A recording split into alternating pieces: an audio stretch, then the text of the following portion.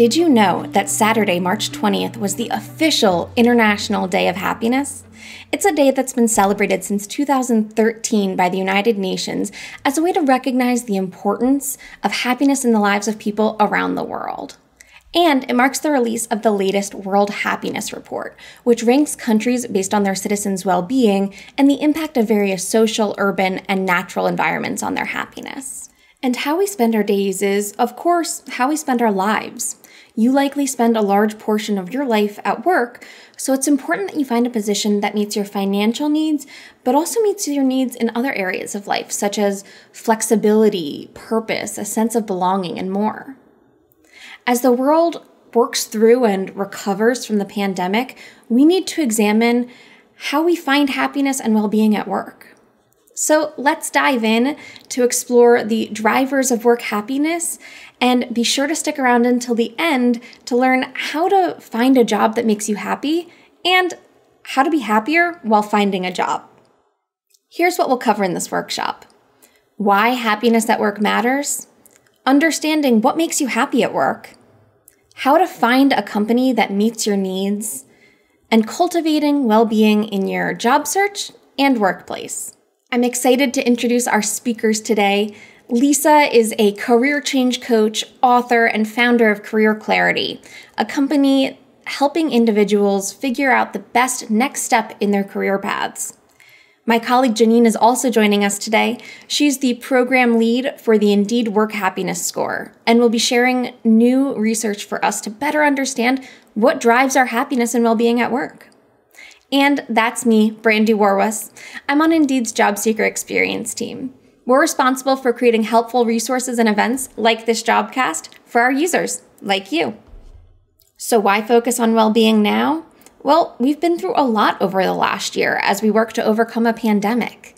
Leading psychologists and well being experts believe it's even more important to focus on well being in times of transition and change. And when we say well-being and happiness, we don't mean just, you know, putting on a smile all day. It's really about whether you feel a sense of satisfaction and if you have more positive emotions on a given day. Well-being contributes to overall happiness, and happier people are more likely to be resilient, energetic, and innovative in times of great challenge or stress. And in case you haven't noticed, these are very stressful times.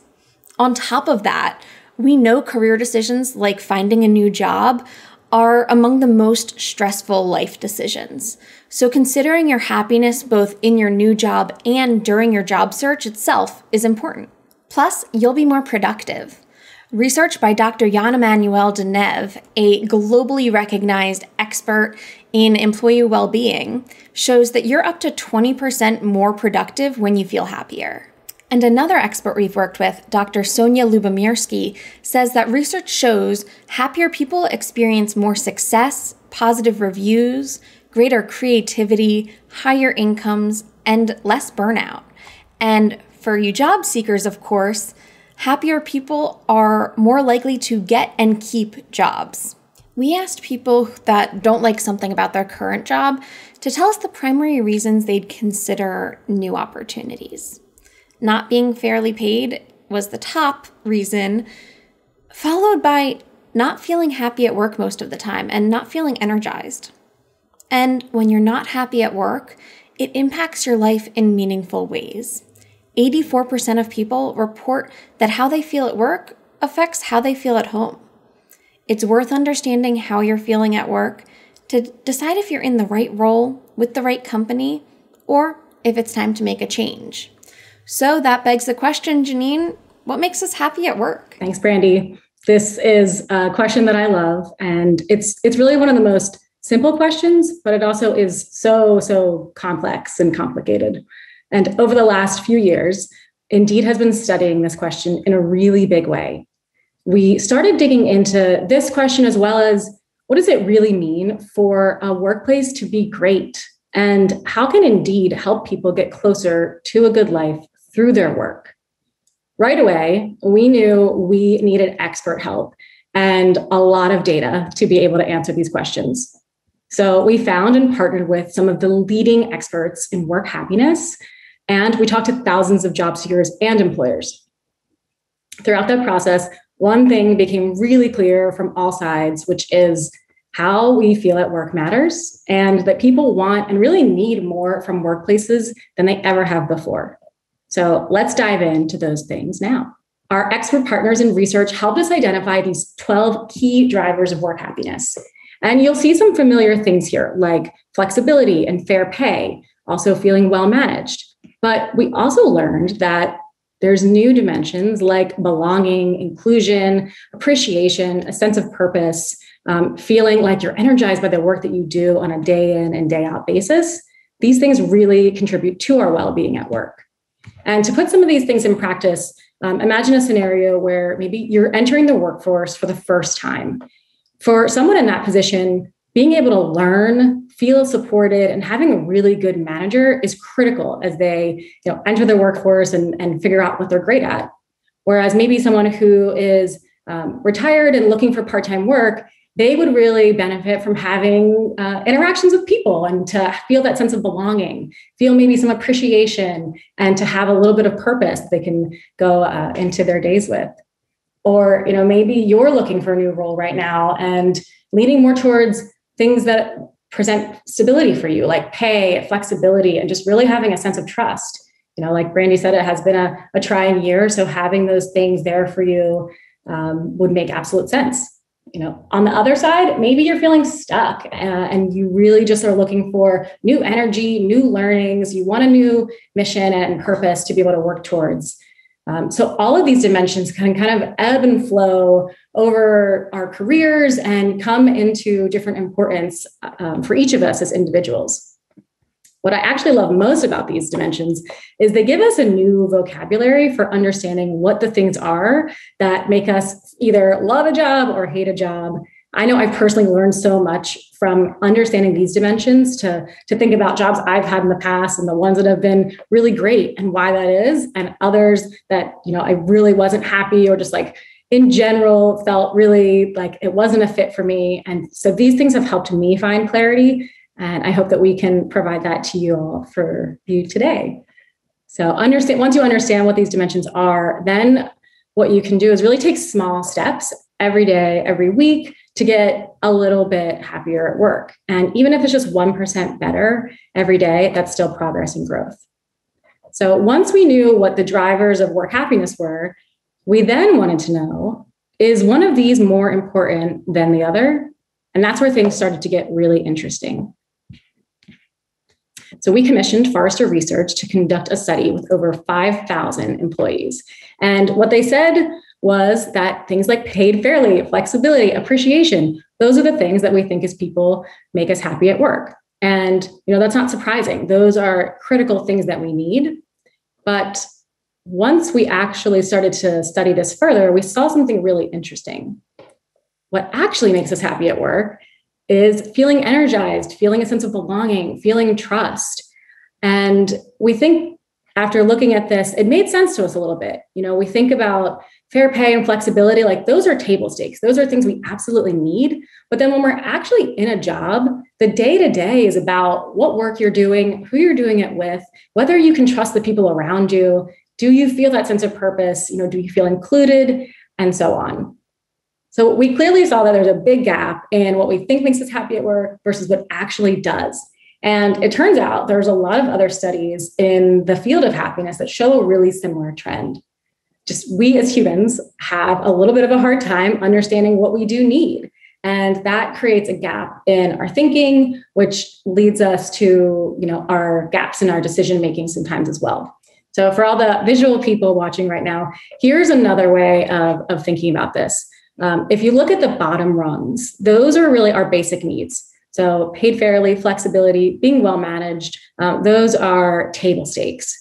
But once we have those things met, what we benefit from in the workplace really starts to look a little different. And it gets into these, what we're calling elevated needs.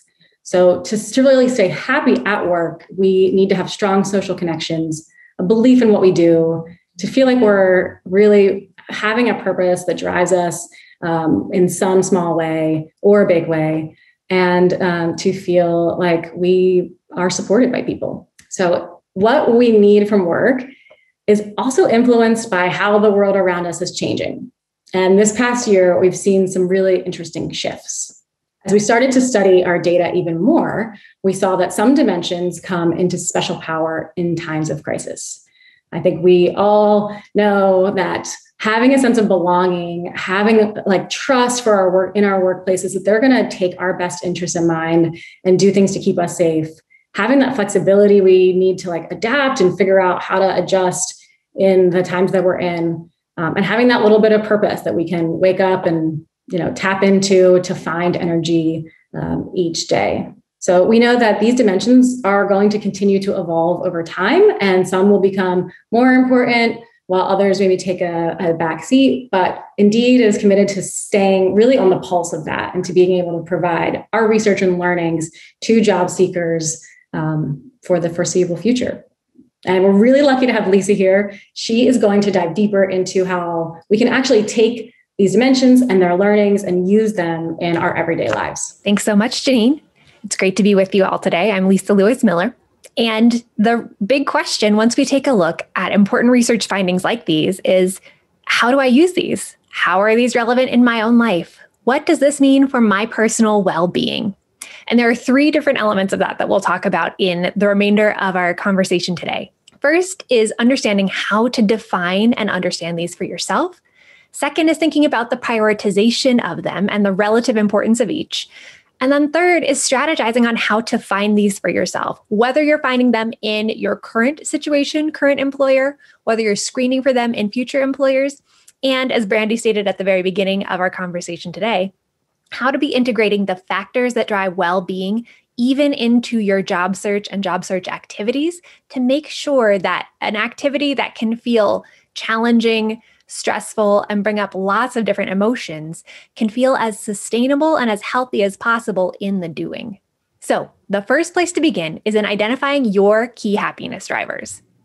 One of the really important things about this research and about this study is that when we're talking about well being, it's a subjective measure. There's no singular objective way to say this is what well being means and this is how you'll know if you've achieved it. So, knowing that we have these 12 different dimensions, understanding how each of these resonate for you and what they mean for you and how you prioritize them will be a big, big question that will help you to then find what you're looking for on the other side.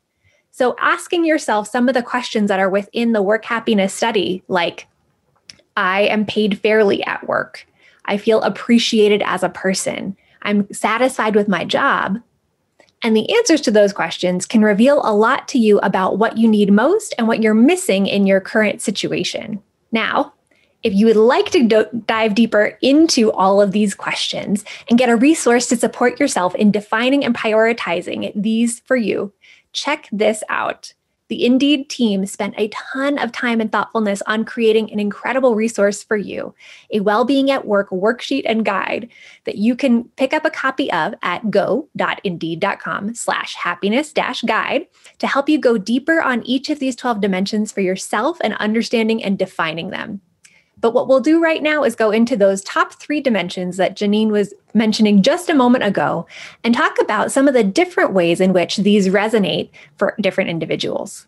So, the first and most important area that came up in the Forrester research was that feeling energy at work is really important. Now, we can define that here as you may feel energy and energized in the day to day by the people that you interact with, the work that you're doing, and the feelings that come up for you, whether you feel inspired, motivated, or challenged while staying fully absorbed. There are lots of different pieces to this. If you've ever heard of the term flow, for feeling like you get lost in the work and lose track of time, that can be a great indicator that you're feeling energy and full engagement with your work. But as you can see in the data that we have here on what makes you feel energized at work, there's a bit of variation. So, for some people, feeling excited about the work that they do is the most important factor to feeling energized. For other people, that flow state of being fully absorbed in the activities that you're engaged in is important. Sometimes it's when you feel inspired to do your best.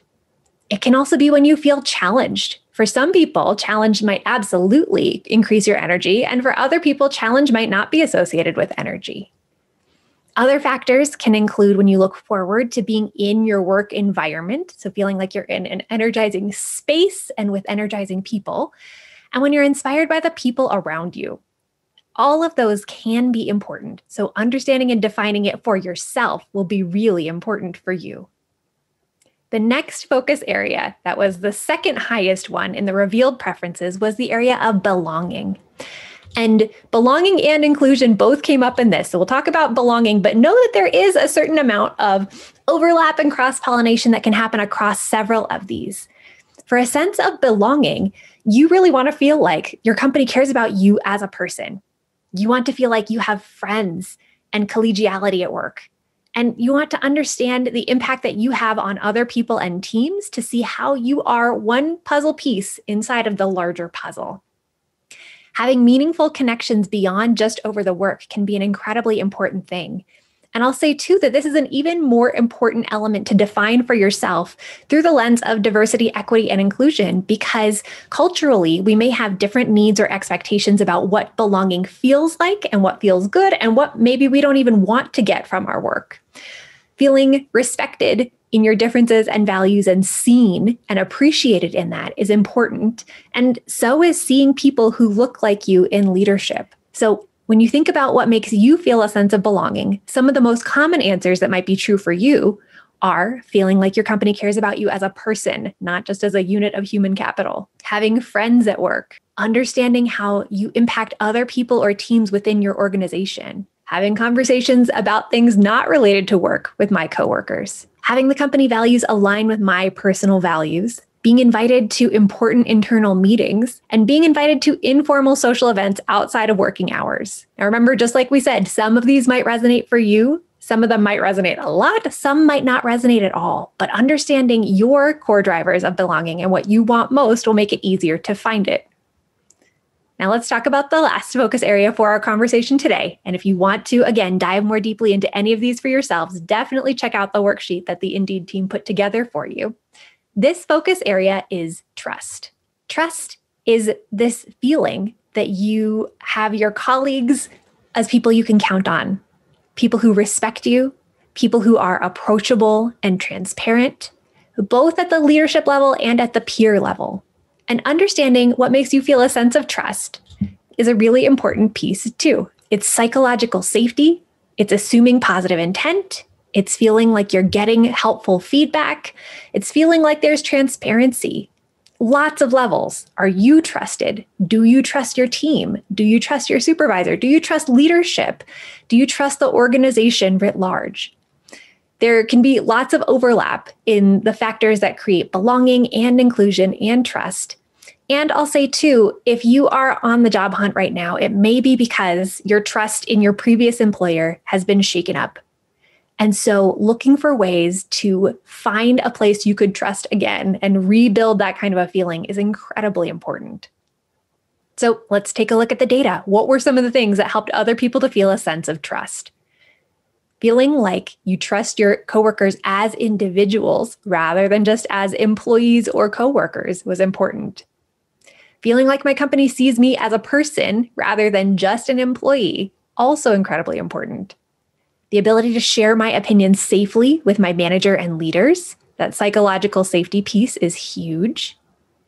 Feeling like most people that you work with are honest and have a positive intent is always a good thing, too.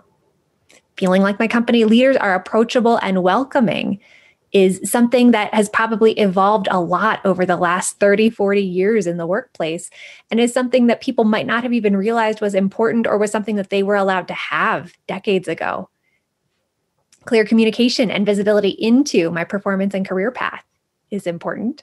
Clarity on how decisions are made and transparency of company performance and health, especially in times like this when it feels easy to feel scared, nervous, or uncertain about an organization's future.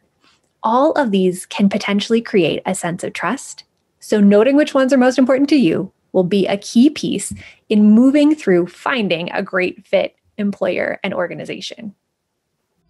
You know, Lisa, I just wanted to jump in there for a second because as you mentioned, you know, having that transparency is, is so important to having trust and you know, if you've ever been laid off you you know how much having that trust shaken uh, can impact you and how that impacts how you value the dimension of trust in finding a new job. So your experiences definitely impact how you're you're valuing the different dimensions. Absolutely. Thanks for jumping in with that, Brandy. And Janine, I just realized I forgot to invite you to weigh in on any of those. Was there anything you wanted to add about those? Yeah. Uh, well, I think energy is the dimension that has really helped me the most recently. And one really simple way to understand your energy is to even just keep a log, a log of the things that you're doing every day, every week. Could be really simple. It doesn't have to be super detailed, but categorizing those things into the things you love and to things you loathe, and really starting to see the difference between the two. Um, there's a book called Designing Your Life that that showed me that exercise and it really helped open my eyes to what I feel good doing. And then really what are the things that, you know, drain me and starting to ask why those things are so draining. Um, and I think you're always going to have to find that balance, right? You're never going to be at 100% in love with everything you do all day, uh, but you can at least maybe get 70%, 80%. Uh, so I think from an energy perspective, love that. Uh, and then belonging is so, so important. I am like a classic introvert. So this one's always hard for me to wrap my head around. You know, I want to make friends, but you know, sometimes I am shy, or I you know I work really well independently too. Um, and I think as something that st- stood out to me from a coworker in the past was she actually created this great sense of belonging for us as a team. Um, she would draw us all as superheroes, like as a team together with like different superpowers. And at the time, you know, it felt really good for all of us. But now looking back, you know, like it was such a big leadership move for her. Like she was creating a sense of belonging for all of us. And we kind of didn't really know it at the time, but those kinds of things can go a long way. Um, and, you know, like you said, Lisa, on that scale, looking at like, what are, how am I feeling today on these dimensions? If I do feel like I'm having a low day in terms of like belonging or connection, I think about, okay, what's one small thing I can do to uh, appreciate someone else or to give someone else a kudos? Like, even doing that sort of act of kindness makes me then feel like I'm connected. So it all it all kind of works together. I love that, Janine. And it's actually a beautiful segue into the next part of our conversation today, which is how do you find a workplace that fosters your well being, your sense of belonging, your sense of being energized, trust, all of those good things? And so, some of the tactics that Janine just mentioned are perfect things to be thinking about if you're currently in an employment situation right now and you'd love to feel a little bit more well being within that. So, for those of you who are in that situation, here are some very tactical, practical tips that you can be implementing to be improving and increasing your well being in the workplace right now. First and foremost, like we've been talking about a moment ago, asking yourself if a company is meeting your needs is exactly the place to start. Now, if you have identified what your needs are, what those are defined as for you, how you prioritize them, this then becomes a really easy kind of question. Am I feeling energized? Maybe on a, a yes, no, or a scale of one to 10.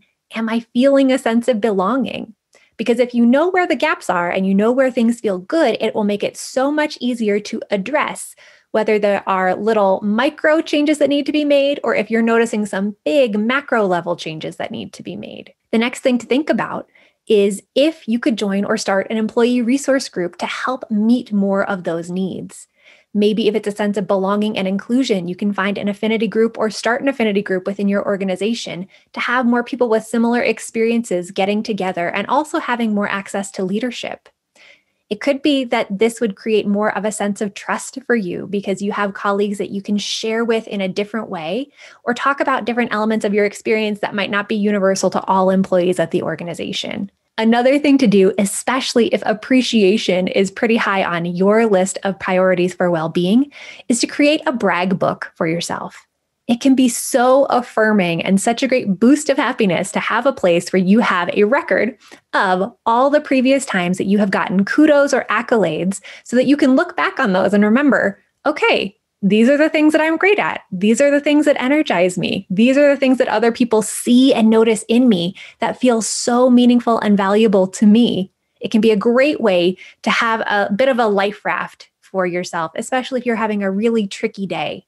Another way to increase your well being in the workplace is to align tasks to your strengths. All of the data says that when you get to work in an area of strength, and this isn't just an area of capability, it's an area of energy, right? That number one driver of well being, you tend to be happier at work.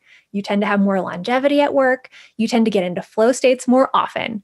So, if there's a way that you can be creative with your tasks to align them with areas that you already get that natural energy in your strengths, it can also help to increase your well being on a day to day level. And of course, the last thing to do is to talk to your manager. Beginning an open conversation and a dialogue around the factors that contribute to your well being is so important to get them met. If your manager doesn't know what factors contribute to your well being, they can't very well be responsible for any gaps that you have in meeting them. So, beginning that conversation and making sure that your manager understands the ways in which your well being can be improved by some of those micro or macro level changes can be a huge tool in your toolbox for feeling more of the way that you want to feel at work day to day in your current situation. Now, if you've been assessing your own workplace satisfaction, happiness, and well being, and you recognize that it would be really difficult to meet your needs within your current organization, or if you're already on the job search and starting to look for new places to go, you understand how important it is to screen an employer for values and for alignment. So it also can feel pretty tricky to understand how you can assess those things from the outside of an organization but these are some great tactics and tips to allow for you to have a little bit more of a line of sight into what a company is really like once you get inside. The first place to look is at an organization's vision and mission statement. What do they put externally as the things that they value or as the things that they are trying to uphold as a company? Even though we know that sometimes that can be shiny, glossy, polished corporate jargon, if they put it on their website, it's at least an indication that that's what they strive for if they're not able to achieve it every single day. If an organization doesn't have a vision, vision or a mission statement stated, that might also be really interesting, helpful information for you as well. Another place to screen your organization for their values is on social media. When you look at social media, you can actually look at it at the level of if they are walking their talk, essentially, through a couple different levels. Number one, organizations are putting out a lot of brand or company level social media. So checking and seeing what they share and why. But then also looking at the employees at that organization and what they put out on social media can be telling as well. Do they tend to talk about having a lot of really good days or talk about some of the interesting team building things that they're doing at the organization?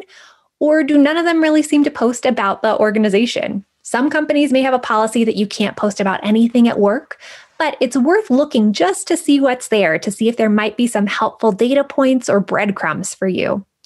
And of course, looking at how the customers talk about a brand on social media can be really helpful too. If you're seeing lots of happy customers and lots of elated posts, that can be a really good sign. And noticing if you're seeing a lot of frustrated customer posts can also be a really important data point to use in your decision making. And of course, asking the employees whether you're looking at employee reviews somewhere that is external, that's a little bit more anonymized, uh, like what you can find on Indeed, or actually getting the opportunity to talk to employees one on one and ask them those questions and the follow up questions to really help you to understand an organization can be great. There's only so much that we can pick up about an organization when we're looking at external resources and getting to dive into the nuance and really understand what it's like to be at an organization and some of the pros and cons that may not necessarily come across in external reviews can be really important too. So, initiating conversations with employees at the organization is a really helpful tip.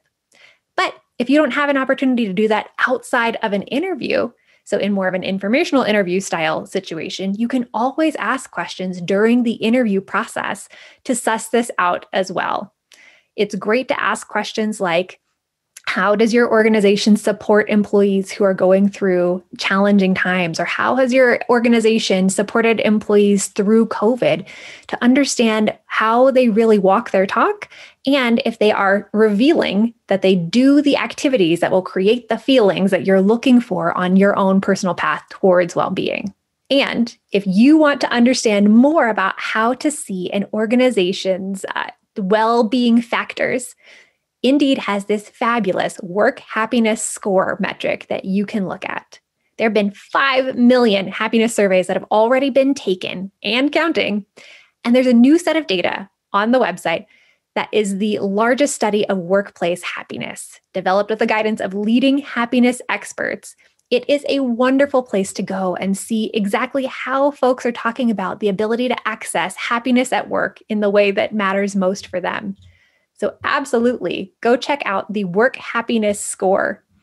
And Janine, I'm wondering if you want to jump in and say any more about how to use the Work Happiness Score. Absolutely. The work happiness score is a section that is on the Indeed company pages platform. So, for almost every company in the world, we have a company page where people go and leave reviews and ratings about what it's like to work there.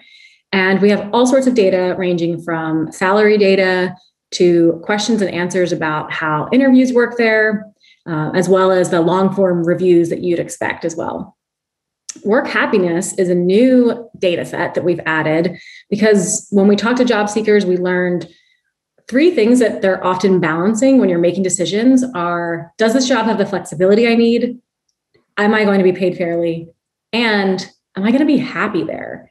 And it's happiness is and well-being are really, you know, it's an intangible thing that's really hard to measure. And we wanted to provide job seekers at least a more transparent and clear way to help them understand how people are feeling in that workplace. And I think it's a great tool to use when you're researching companies while you're interviewing, you know, all throughout your job process to get a sense of how a company is performing. And I think we see companies in every single industry that are really, really happy. And we see a lot of companies that are average, and that's okay too. So it's a really good tool to hopefully guide you to understanding those things. And, and like we said, if there are dimensions that you know are really important to you, you can look for those specific dimensions on the work happiness score and see how that company is performing.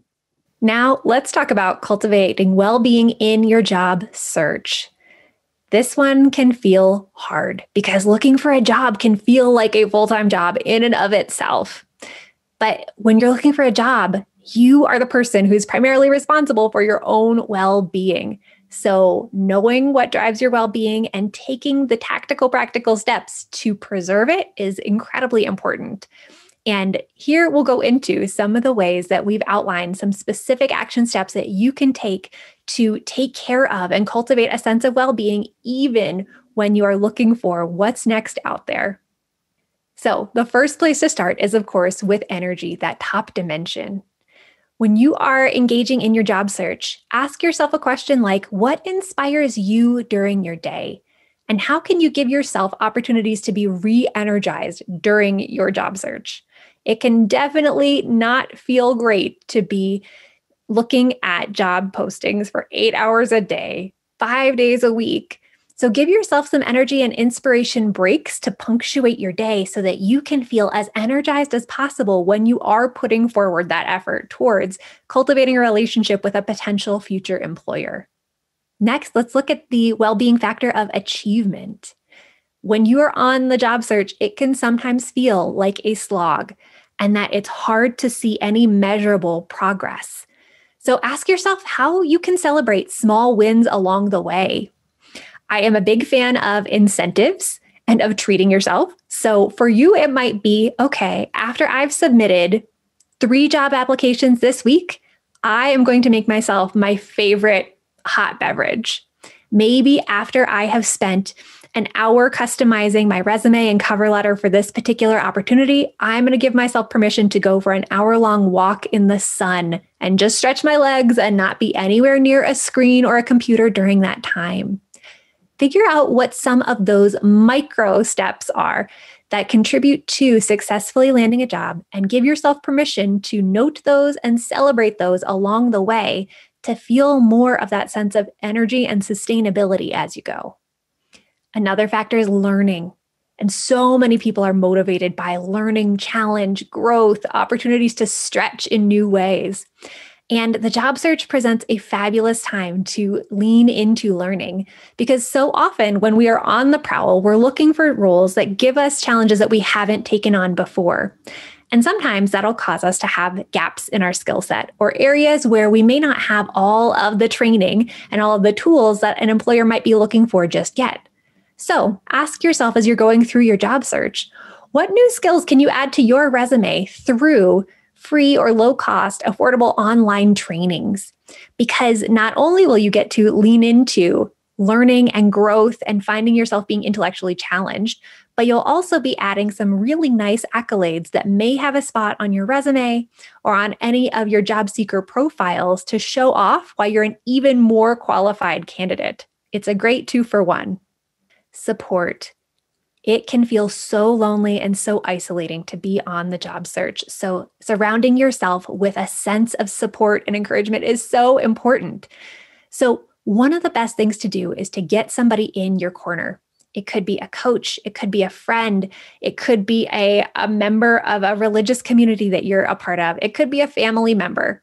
But finding a confidant who can encourage you, who is positive, who you can check in regularly with, and tying back to that sense of achievement, who may also help you to celebrate your incremental progress and incremental victories, can be so pivotal to feeling like you're not doing this alone, you're not an island, and that you've got the stamina and the grit to be able to get through the job search and come out on the other side where you want to be.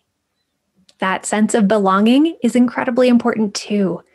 And to that same point of it feeling really isolating and lonely to be on the job search, you can look for groups and communities to join that will help you to feel like there are other people going through the same thing, other people who think the same way that you do. So, asking yourself, is there a group you can join to further your community, your career, and provide community can be great. It might be a group that's related to your geography, so job seekers in your city. It could be a group that is related to an affinity that you have. You know, even if it's a book club, things like that can be really helpful in cultivating that sense of community and connection. And of course, it can be a community that is directly related to your particular job function. So much of the best networking and relationship building that ultimately opens the doors that allows for interviews and hiring to happen happens in some of these micro communities, like project management communities or engineering communities, things like that. So if you haven't already, take some time to look for any, particularly online in this season, communities that you could join to be surrounded by fellow practitioners that can help you to have that sense of belonging and may also increase the kind of outcomes and results you're getting from your job search activities. Purpose, a sense of purpose and meaning and mission is so important. And this one can come across in a lot of different ways as you're taking care of your well being in your search. One of the best ways related to learning, like we talked about earlier, is finding ways to help people, finding ways to allow for your skills and gifts to make a difference in somebody else's life. So, the question here, which is such a great one, is Would volunteering help make you feel impactful and connected to a sense of community and purpose? And can it do double duty and contribute to your resume as a line item that you can add under volunteer experience, leadership experience, training, pro bono work, anything else that you might include so that you become not only a better qualified and better connected candidate, but you also get some really great sense of contribution along the way. Flexibility. Now, when you think about job searching, and we talk about it as being a full time job in and of itself, it can feel really tempting to have to put four, five, six hours towards this every single day to feel like you're getting any traction. But sometimes that kind of a rigidity to your time and to your schedule can make it feel really draining and have it wear on you and wear away at your sense of persistence and grit. So, one of my favorite questions to ask around flexibility is can you schedule job searching into your day so that it doesn't bleed into the rest of your day and the rest of your life? Can you make it time bound?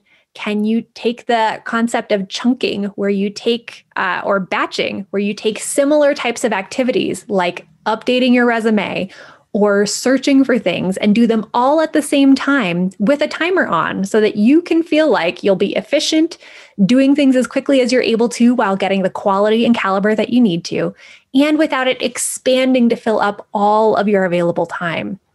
having that sense of flexibility and boundaries on the way that you're using your energy and time can be great in preserving your well being.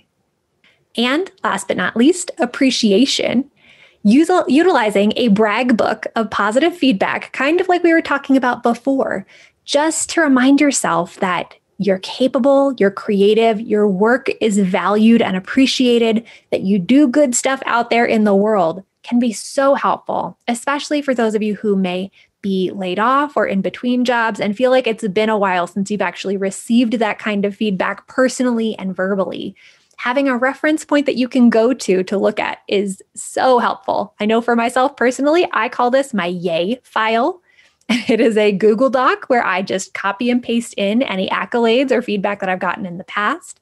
That when I'm having a really tough day, can be the thing that I go back to to remind myself that okay, I'm going to get through this. I'm going to land somehow. I'm enough. My work is worthy. I will find some place that feels like a good fit. And with that, I will toss the mic back to Brandy to recap and close us out. Okay, so I know that was a lot of information. So let's recap with your action items. First, focus on work well being now because if you're happier, you will be more productive, successful, and able to deal with the stresses of today. Understand the drivers of work happiness, both the basic and elevated needs. Think about which drivers you value the most and how you prioritize them for yourself. Consider whether your current job is satisfying those needs, and if not, Use tools like the Work Happiness Score on Indeed to identify companies that might be a better fit for you. And finally, cultivate your well being during the job search by finding ways to tap into those happiness drivers. We at Indeed have also created lots of great resources that we'll continue to build on, and you can find them at go.indeed.com forward slash happiness. We just launched expert videos on with happiness experts around purpose and um, job crafting, which I think is a really great tool if if you are in a role where you're not really feeling energized or finding like it's a fit. There's a very interesting concept called job crafting, um, social connections, purpose. Uh, so feel free to visit that. We'll continue to post all of our updated research on this landing page. And you can also have a direct link there to take the work happiness survey. By taking the work happiness survey, you are then contributing to helping other people understand what it's like to work in your workplace and helping them find more happiness as well. And I'll say a big thank you to the Indeed team for inviting me to come on and talk about well being and happiness in the workplace. It is something that I am obsessed with and a big champion of because there are almost always ways to feel better in your work. So thank you so much for having me. Uh, again, I'm Lisa Lewis Miller. Uh, and you can find out more information about the work that I do at getcareerclarity.com. So now let's take a look at some of the top questions that came in. So let's jump in. The first question that was upvoted here is When battling burnout, what are some steps to maintain a positive attitude? This is a great question. And I'll jump in. And Janine, if you want to, to piggyback on, please let me know. So, when battling burnout, typically burnout is a, a symptom of overgiving, of having done so much, put in so many hours, given so much of your energy, your time, your mental bandwidth that you just feel like you've got no more gas left in the tank. And if there is a time in your life that you need to be thinking about factors for well being, it is absolutely when you're battling burnout. One of the biggest things that I encourage folks to do when they're battling burnout is to start with really, really small steps. So, for example, if you find that one of your biggest factors towards well being is feeling appreciated, and you feel like you haven't been appreciated at all within your current situation, but that asking your manager to give you feedback or to give you that sense of encouragement that you're looking for feels too big or too arduous or like it would take too much energy. Starting with something really, really small and a baby step is a great thing to do. It might just be reminding yourself of someone who gave you a compliment in a previous role or a fellow coworker on a different project. It could be going back through past work emails or past project emails to find one that says, Good job. even something like that can remind you that, hey, okay, my work is meaningful. I'm doing good stuff. This is appreciated. And even if it's not appreciated in my current situation, it is worthy, important, valuable work. So finding baby steps and ways to be really gentle and starting small is the biggest advice that I can give you for battling burnout to help you get back to that positive attitude right? Because there's no way to just try to flip a switch in your brain and say, I'm just going to be positive about this now. It's got to be natural, it's got to be authentic, it's got to come from within.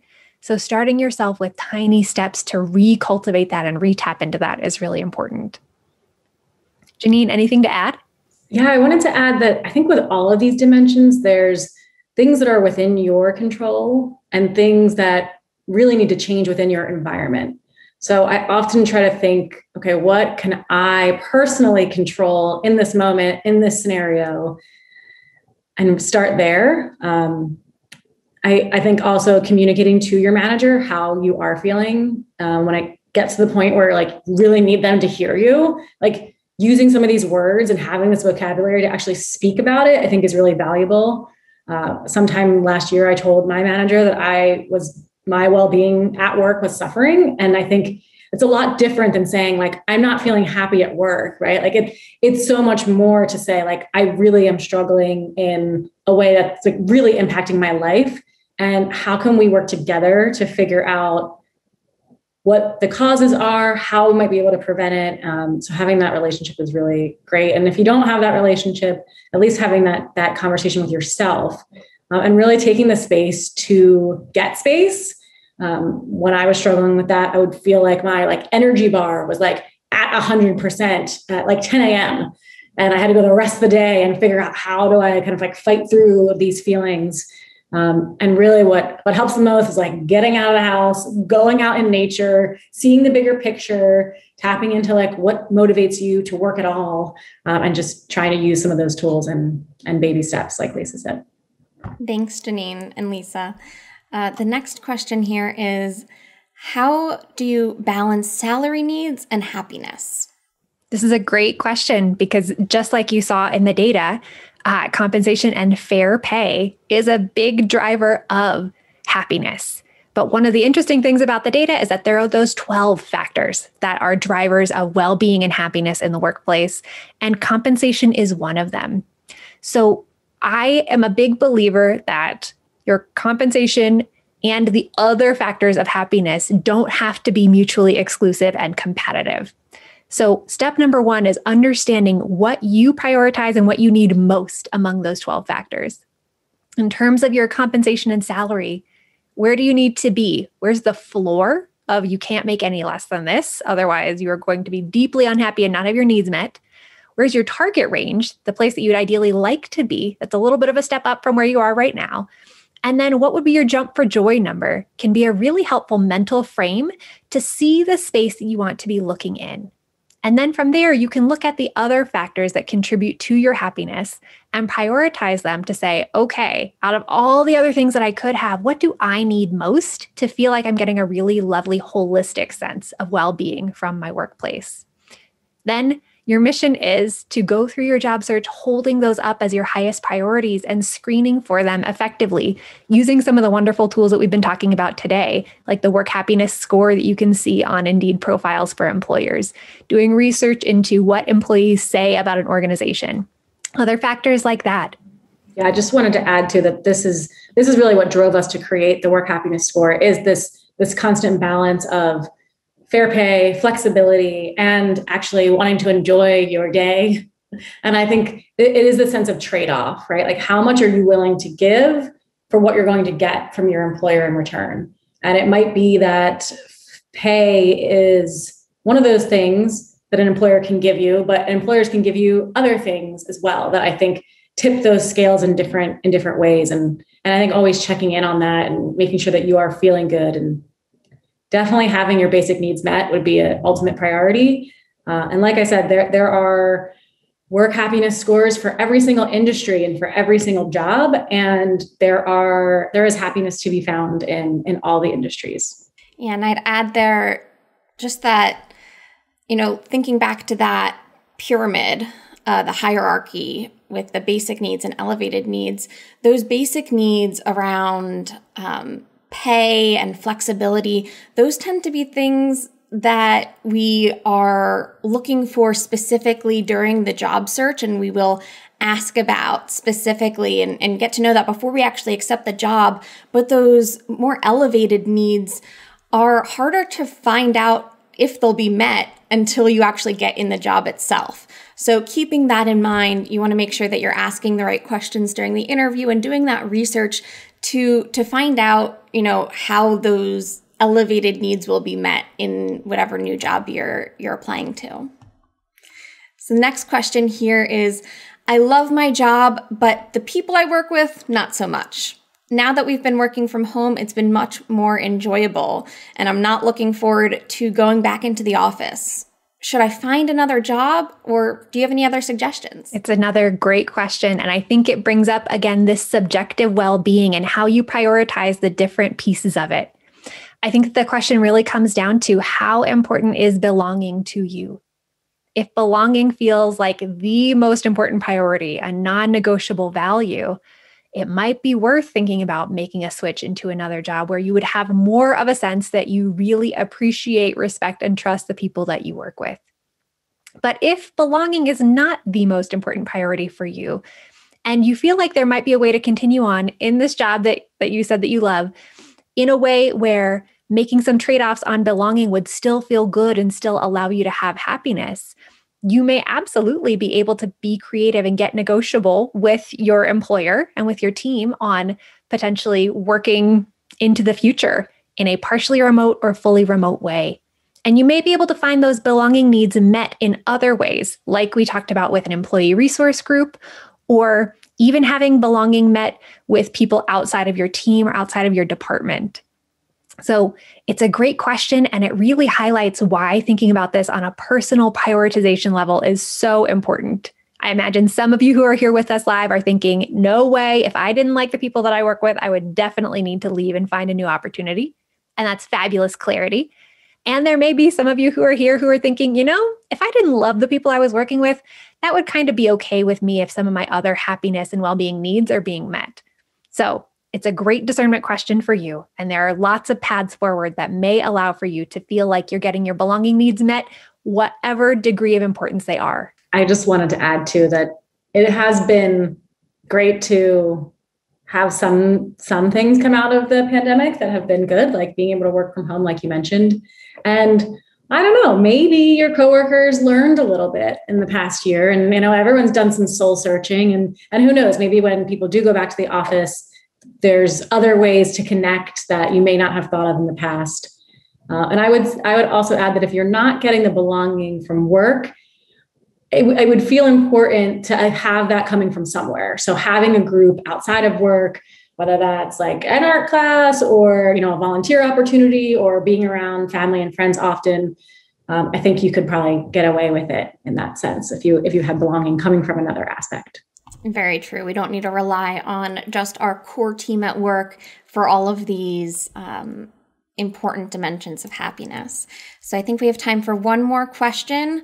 Um, and we'll do for people job hunting, what questions can you ask your interviewer that reveal what kind of environment you're entering? And also, how would you examine the answers that would raise red flags? Lisa, any thoughts on that?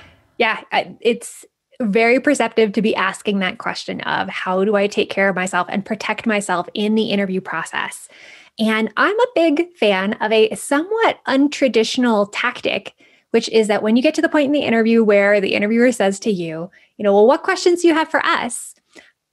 I am a big believer that using a behaviorally structured or a situationally structured question and posing it to them can be so effective.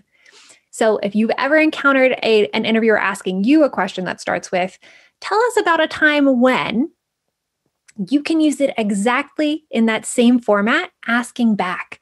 So tell me about a time when there was conflict within this team.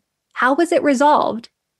Can give you lots of great data points that are based on a past experience that actually happened about how an organization thinks about and prioritizes trust, belonging, inclusion, appreciation, all of those factors.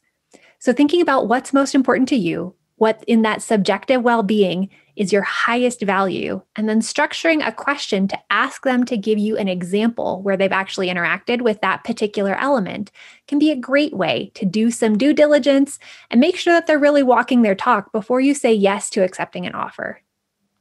Janine, anything to add there? That's a really great point. I think how people answer that question is definitely more helpful than kind of some of the what's it like to work here open ended questions. Getting more specific will definitely get you more specifics um, I also think having a little bit of clarity around what you're what you are looking for and what your strengths are. I find that if you have kind of like your little map of like here's who I am, here's what I care about, and have that kind of built-in confidence for what you are looking for in a job, I think people will be able to kind of give you more answers on those things. And so I guess it all it all starts with clarity. And I think Lisa had a great point of asking questions where you're going to get a tangible answer and example.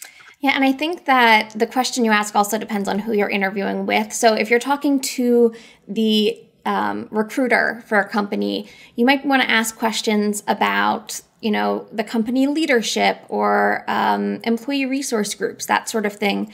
Um, but if you're talking to the hiring manager, you can ask things like, "How would you describe your management style?" You know, things that will get more into you know, helping you decide whether or not it's the right fit to what you need for manager support, for example. So I know we are at time. So if you found this to be helpful, check out our other jobcasts at indeed.com slash jobcast and follow Indeed on social media. Don't forget to like, subscribe, and comment below. Thanks for watching.